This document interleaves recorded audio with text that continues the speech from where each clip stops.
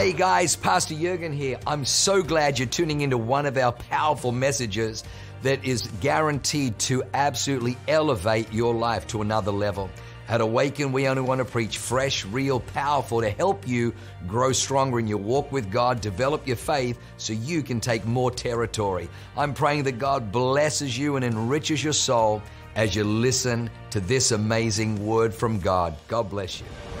Bible in a year, this is what it looks like. How many of you have one of these? That's interesting. Just the first two rows. And the high shirt people. The high team. High team in the first two rows. The rest of you just don't know what it is, probably, but every year our, our church, Pastor Jurgen, it'd be so annoying all the time sitting down having a coffee with him. He'd just be dropping scripture left and right. And I'm like, dude, I've been a Christian my whole life. What are you doing? He goes, oh, I just read my Bible every day. I'm like, man, I get stuck. And he goes, No, I switched over to this Bible in a year plan. As soon as I started doing that, first year was rough. Second year got better. Third year, rocking it. Now it's just been kind of like the nature of I'm pumped because now, you know, you're going through it six, seven times now. So we decided last year to take our whole church on it.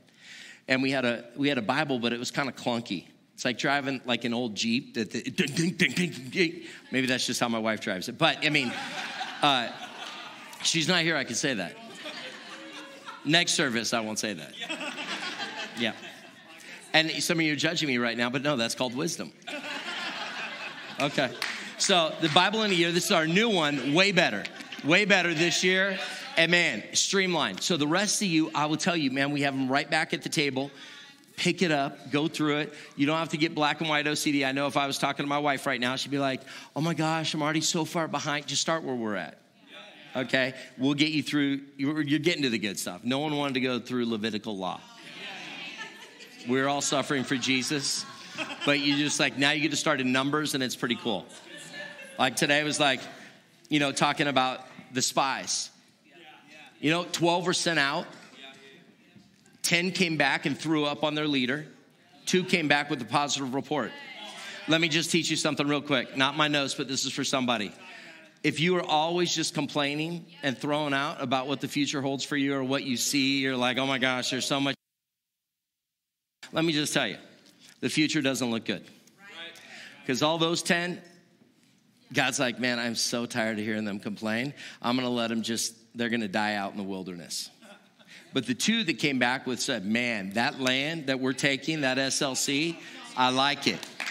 I like it. When I start people here and complain about California, I'm like, oh, get out of here, man. You're, you're not going to make it here anyways. Just leave now. or just look for California and let's pray Mussolini right out of office. And guess what? We'll figure out the situation, but let's see all the goodness that California is, not all the craziness. And I would just say, and start speaking life over SLC so you don't end up crazy like California. Trying to help you. Trying to help you. I want you to understand that the church got California where it is because they didn't say anything. It's the church's fault, which means people are the church, so it's the Christian's fault California got to where it is. They became passive, they became apathetic. And I'm gonna tell you, I am nervous SLC coming down to emerge every time because if it drops below 60 in San Diego, it's like all the men start to wilt. And then I just coming up here to toughen up. I was just gonna be like, babe, I'm getting out my underwear. I'm gonna do an ice bath in my front porch right now, three feet of snow.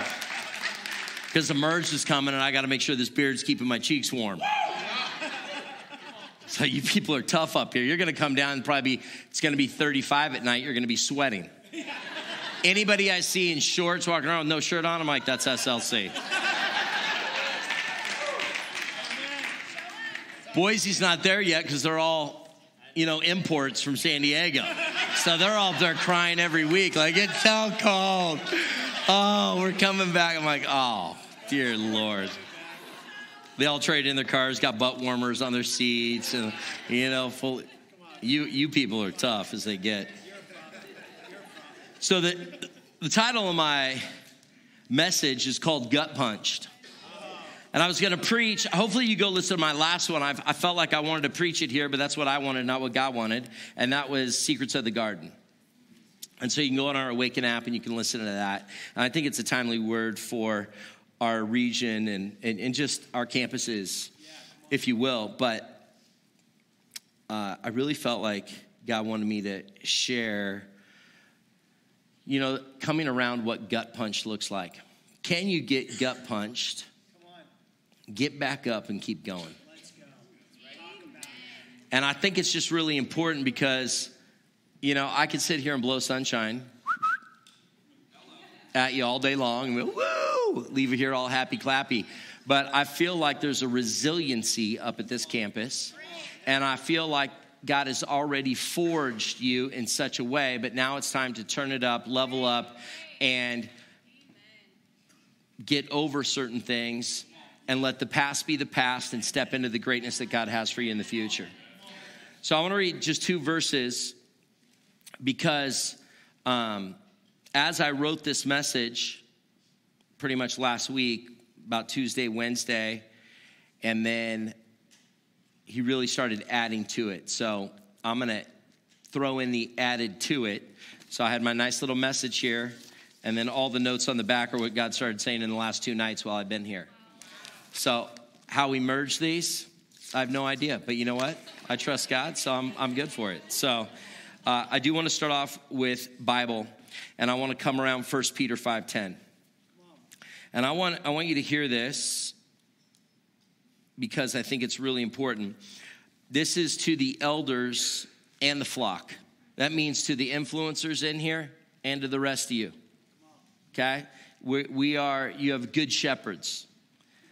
So I get to be part of that shepherding with you. You have the incredible Tuggles that, man, are called to lead this army, to multiply, to do radical things. But some of you are already completely bought in. You would be the elders. That word kind of freaks me out a little bit. I'm not really even sure. But I'm going to tell you, you are the influencers of the house. But let me tell you, to the influencers among you, I appeal as a fellow influencer and a witness of Christ's sufferings, who also will share in the glory to be revealed. Be shepherds of God's flock that is under your care. Watch over them, not because you must, but because you are willing. As God wants you to be, not pursuing dishonest gain, but eager to serve not lording it over those entrusted to you, but being examples to the flock. And when the chief shepherd appears, you will receive the crown of glory that will never fade away. In the same way, you who are younger, submit yourselves to your leaders, to those that are all in. This is discipleship.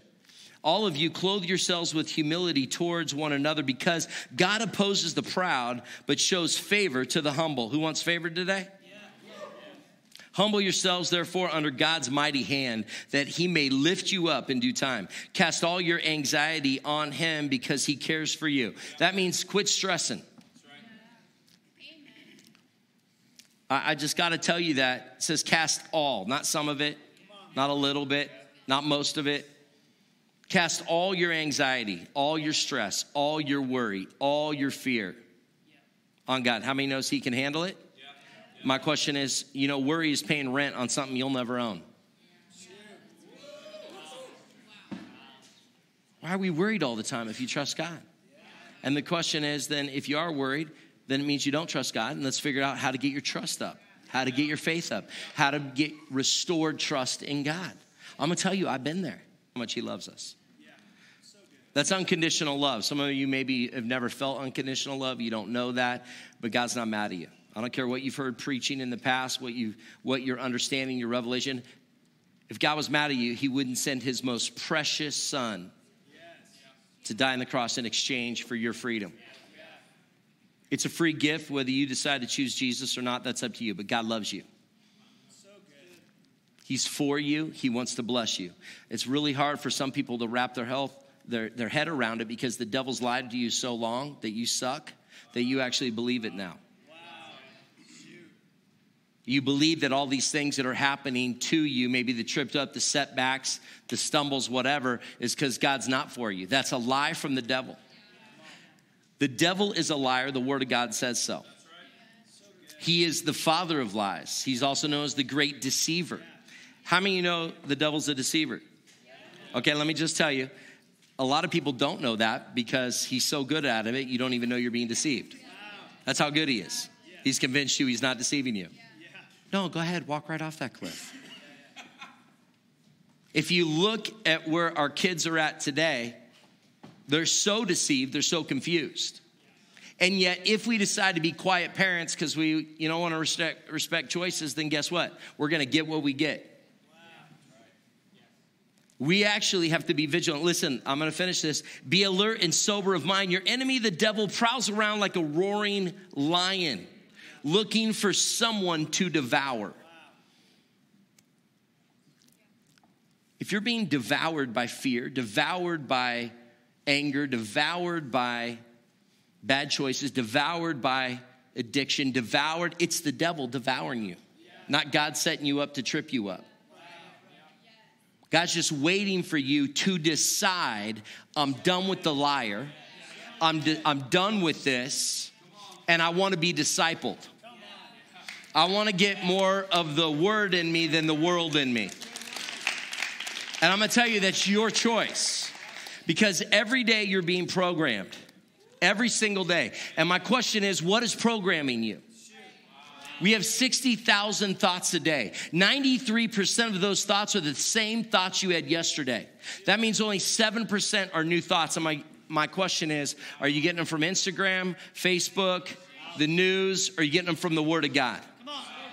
If you're gonna renew and rewire and take every thought captive, we got to start with where we're at. If you don't like where you're at, you better change the thoughts so you get something new. The Bible's trying to hook us up, but it's amazing how we're getting influenced the other way and we don't take this serious. Be alert and sober of mind. The enemy, the devil, is coming to take you out. Resist him, standing firm in the faith, because you know that the family of believers throughout the world is undergoing the same kind of all sufferings. Let me tell you, resist him, stand firm in faith. The Bible says that if you resist the devil, he will flee. The devil shows up to everybody, he's that arrogant. In the wilderness, he showed up to Jesus three times and tempted him. The son of a king, Jesus, he's coming to say, I can give you all this, just bow down. Even tried saying, Does the word really say? Questioning, questioning what Jesus knew. And he always just said, Get out of here gave him the word. The word said, boom, unleashed the stone to the giant, which is the word of God.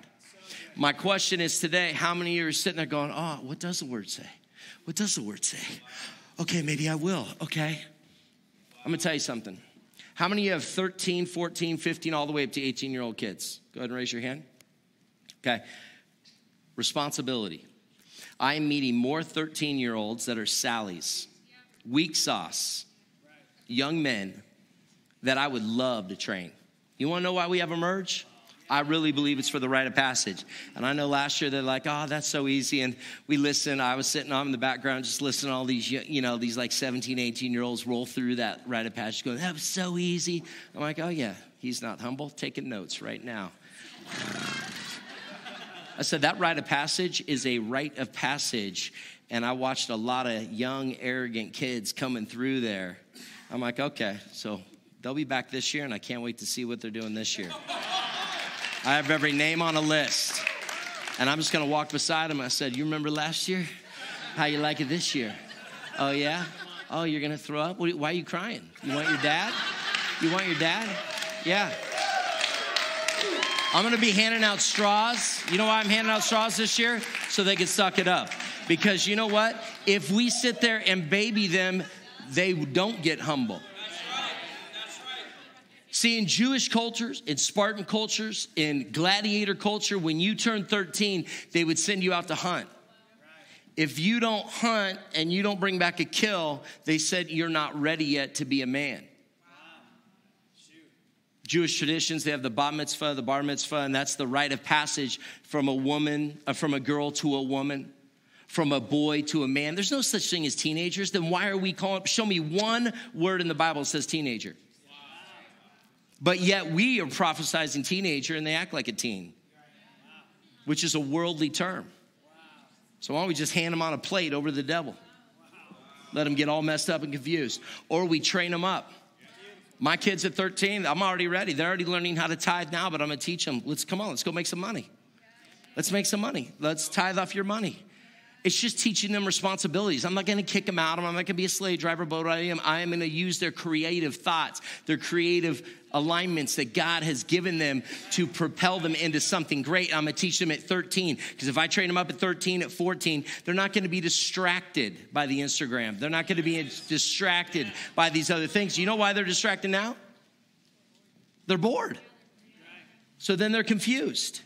So Proverbs 15, 31 through 32 says this Whoever heeds life giving correction will be at home among the wise. Who wants to be a wise?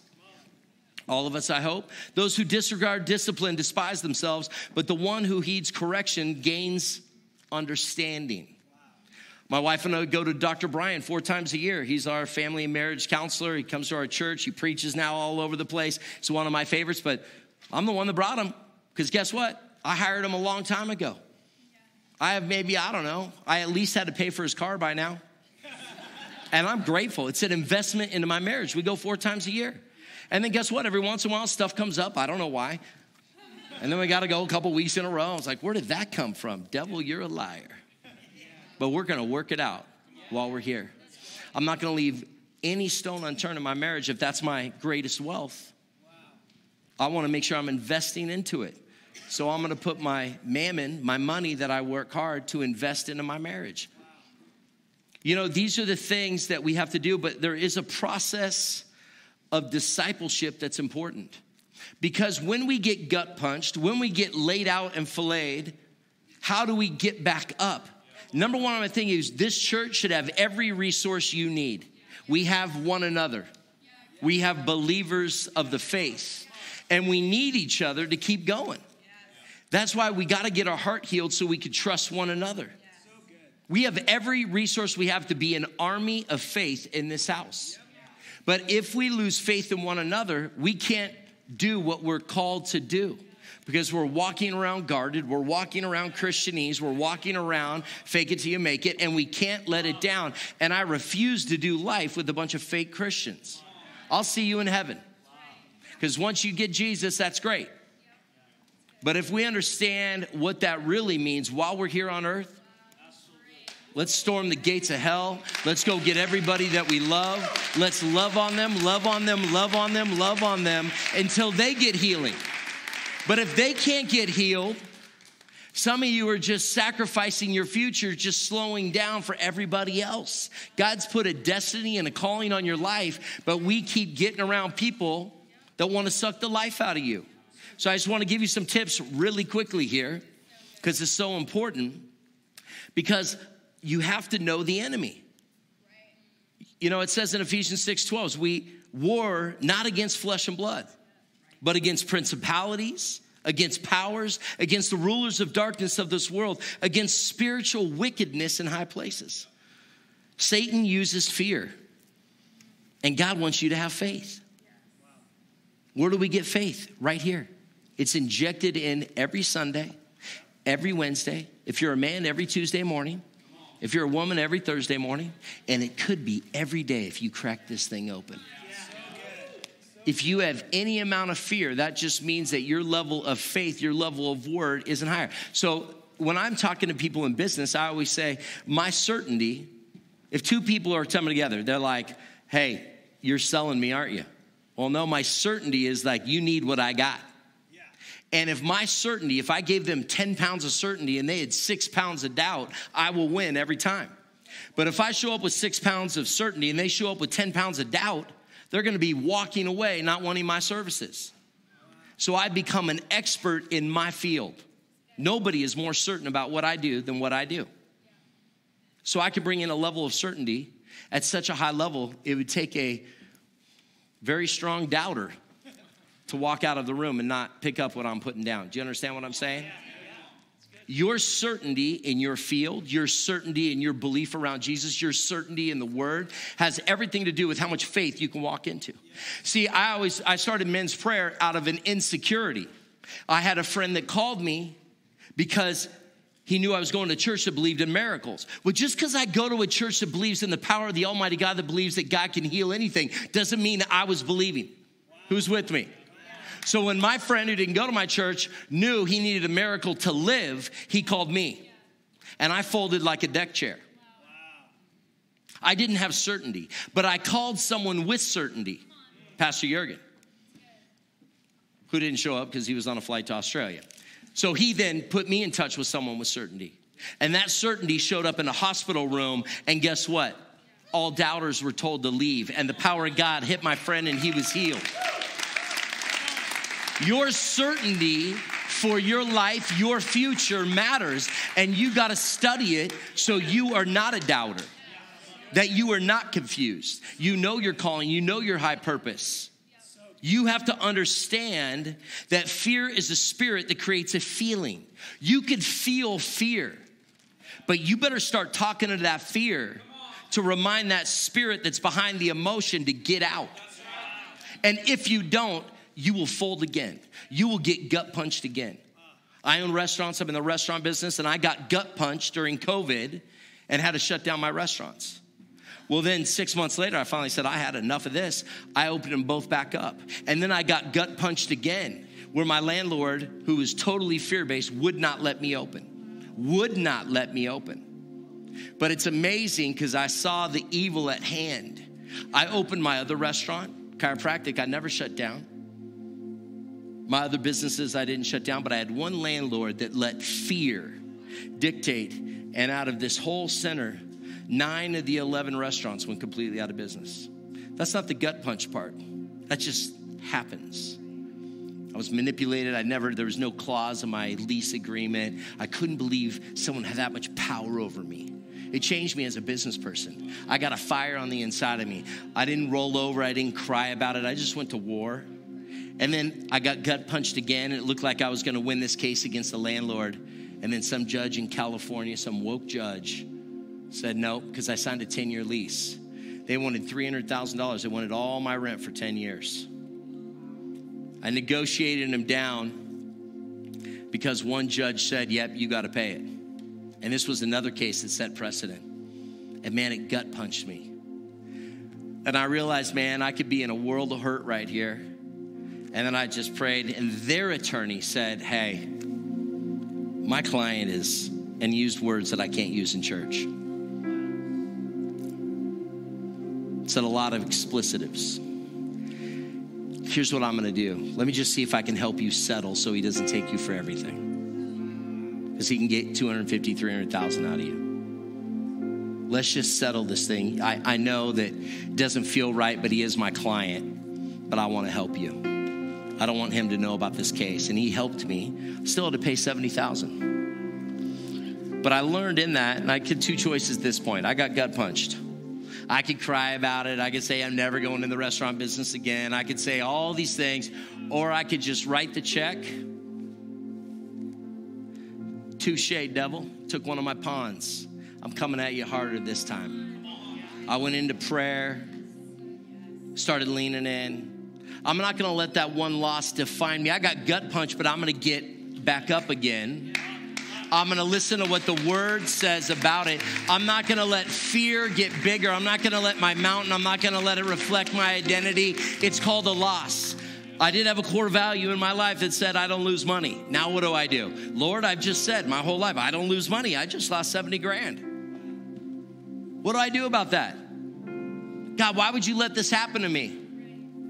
God, why would you let this happen to me? I just realized, you know what? I'm not gonna let fear decide I'm not going back into restaurant business. I'm gonna, God, can I trust you? See, courage is forward motion in the presence of fear.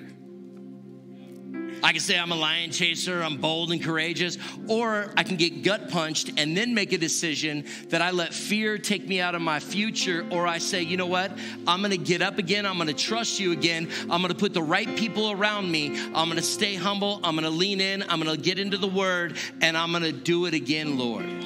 I want to be courageous even in the presence of fear. I know you've told me to take territory in this land. See, some of you have lost something, but you haven't got back up again. Some of you have had a setback. Some of you have had debt. Some of you are in debt. We're gonna break that debt over your mind so you could see clearly again. Some of you have been overwhelmed. See, to be a leader in your family, that's why we have Emerge. It takes grit, it takes gut. God says, put on the full armor. Sometimes you gotta tighten the belt of truth. Some of you just gotta tighten the belt of truth and start speaking the truth over your family. We're gonna have a little truth today, son. We're gonna have a little truth today. We're done with the world. We're done with this stuff. We're gonna get righteous. Let's find out. Let's get you on mission. Let's find your purpose again.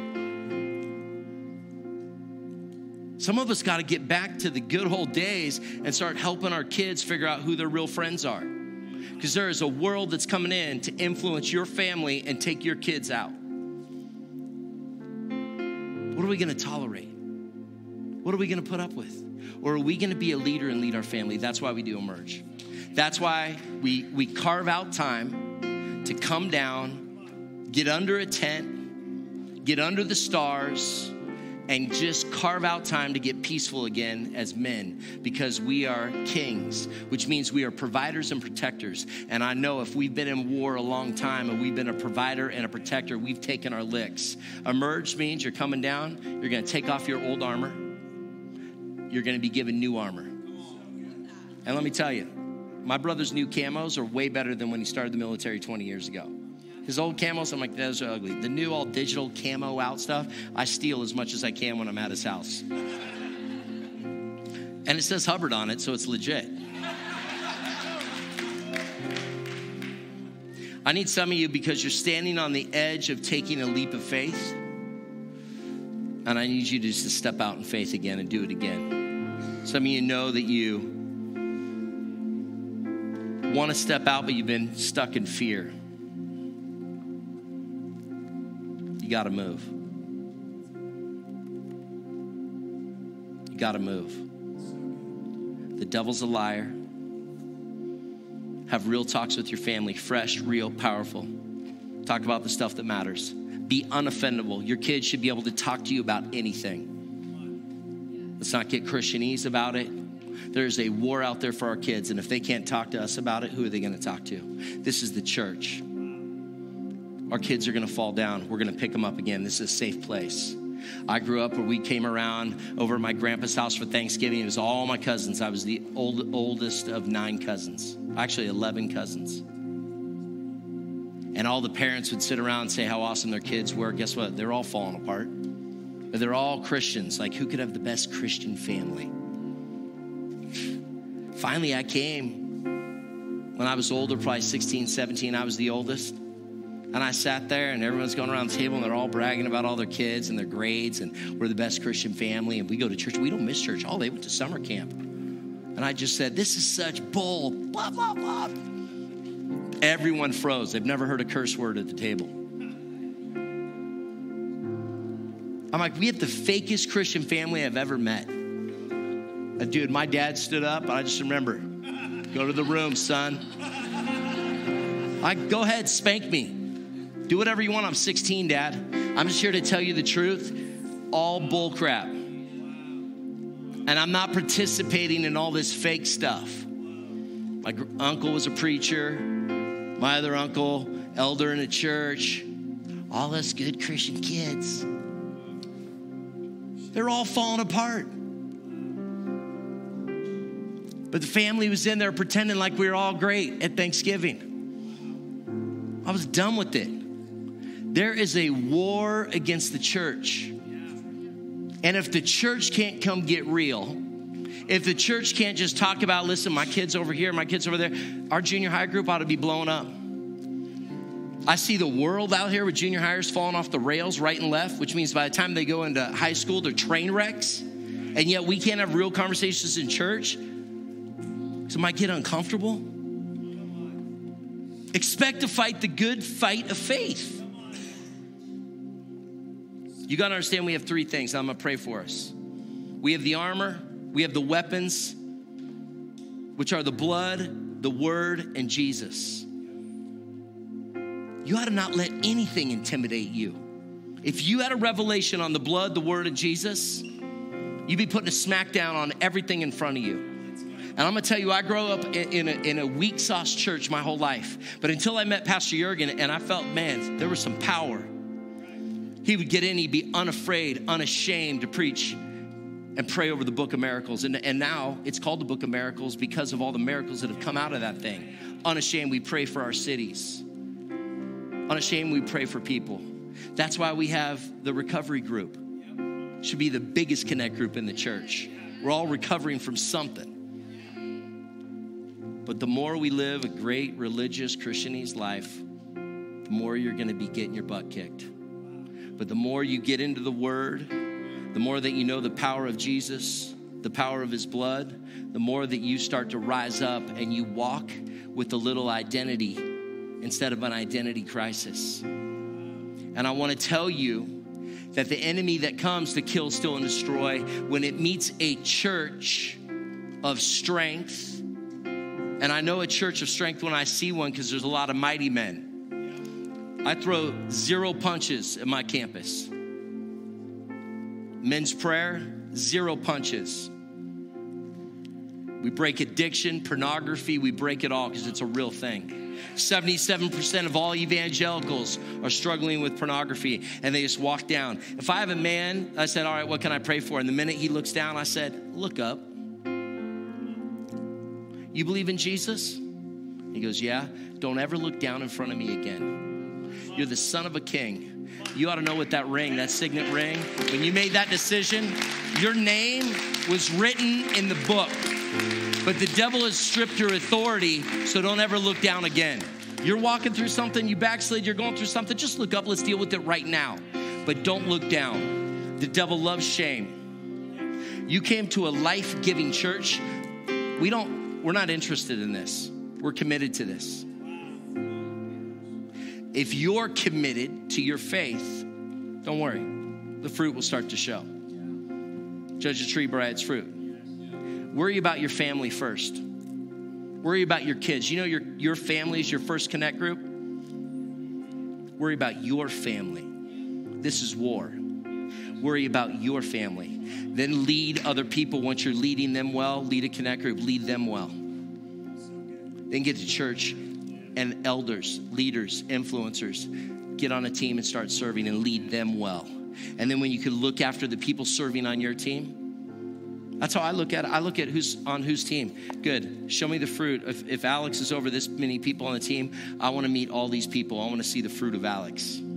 The fruit of his leadership is in his team. Your high team is the fruit of their leadership. And you should just know what's going on in their world know about each other, care about each other, fight for one another, make sure their kids are good. Someone in this house needs meal plans, let's get some meal preps. We got to go dig them out of the mountain up there. Let's go dig them out of the mountain. If we got to look after our brothers and sisters, let's look after our brothers and sisters. But I'm going to tell you, don't worry about all this other stuff. Worry about this stuff because God's working right now in this house and it will explode to the level of discipleship, the level that we humble ourselves, the level that we receive, the level that we process, the level that we heal, the level that we come to men's prayer and get real, the level that we come to women's prayer and get real, the level that we say, That's it, I don't want to be fake anymore. I just want Jesus. I want to know His word. I don't know it like I should because I need more weapons in my life. New levels, new devils. Started leaving a church. Listen, my life was great. And then I took on pastoring. And then, whoa, it got a little rocky. And then I took on regional level. And then all of a sudden, I'm losing restaurants and 70,000. I'm like, I see what the devil's doing because I'm taking authority from him. And now that I know that I'm, he doesn't like when I take authority. See, when you when you when you buy a house and you think it's territory, you're actually taking authority away from him. If this is land and he has authority over all the land, and you take it back and sanctify it, you just stole his authority. He's pissed. Devil hates it when you figure out your authority and you start taking it. Go ahead and stand to your feet. I'm over time. I'm sorry.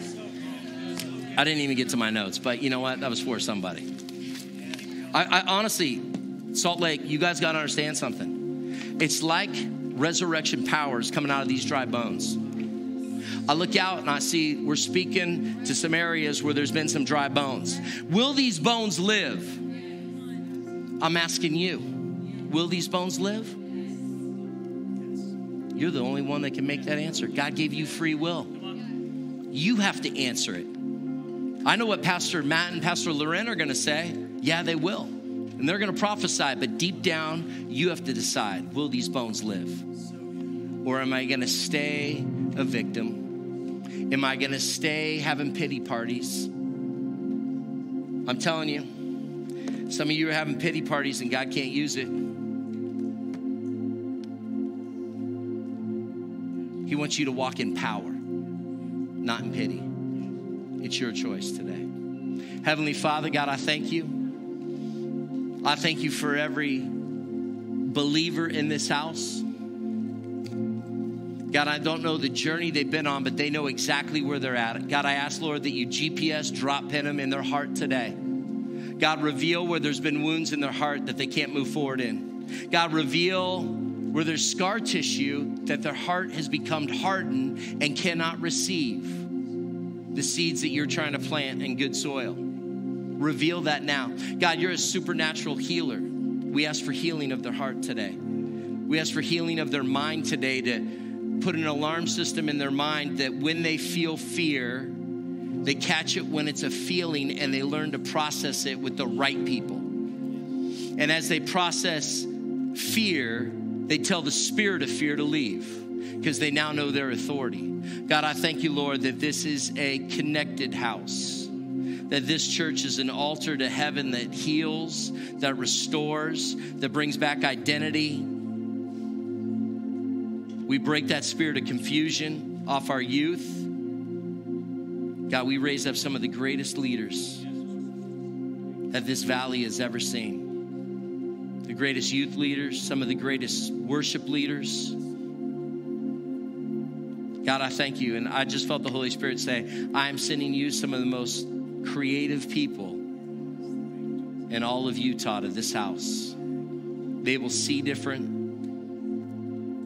I see some of the greatest musicians coming to this house some of the greatest artists, some of the greatest business minds, some of the greatest leadership, political leaders, some of the greatest voices of influence will come to this house because of what it carries. And it carries restoration, healing, and authority in the name of Jesus. Listen, with every head bowed and every eye closed, if you've never given your life to Jesus, or maybe you once did, but you took it back, I want to pray with you. I'm not to call you out but I feel like the devil is robbing you, and I'm about to unleash a word to get you restored in the name of Jesus. If that you, just raise your hand. If that's you today, who am I praying for?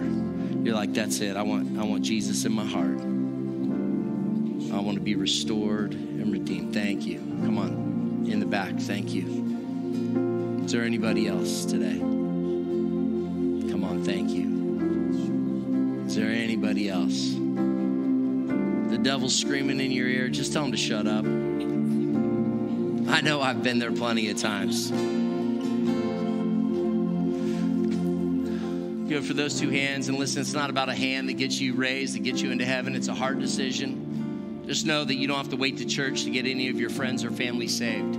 It's about a real, authentic relationship with Jesus. We're going to say a prayer, and I want everyone to say it. And then I'm going to ask the ministry team to come up and if you need prayer for anything, if you've been hearing some of that voices, that fear, whatever it may be, I want you to come get some prayer. Don't leave here with those voices screaming in your ear. Let our ministry team pray for you. You know, I call it the altar, it's where your life's altered. Sometimes if you stay in your seat, you'll stay the same. Every step towards the altar is like shoving it to the devil. Sometimes we got to do it. But let's all say this. Can you guys say this with me? You ready? Heavenly Father, thank you for sending your son, Jesus, to die on the cross for my sin. Today, I ask for forgiveness. Thank you for forgiving me. I believe in you. I crush fear. I stand bold. I am courageous. I am victorious. And I believe this. In Jesus' name, amen. Amen. Wow. What an amazing word. I hope you enjoyed that as much as I did. Hey, listen, for more information about our church, go to www.awakenchurch.com or subscribe to our YouTube channel if you haven't already, and download our app. It is amazing. It is chock full of incredible messages, information about upcoming events, and you can even support our ministry if you feel so inclined. We loved having you with us today. We look forward to seeing you again. God bless you. Live a life that is transformative. Bye for now.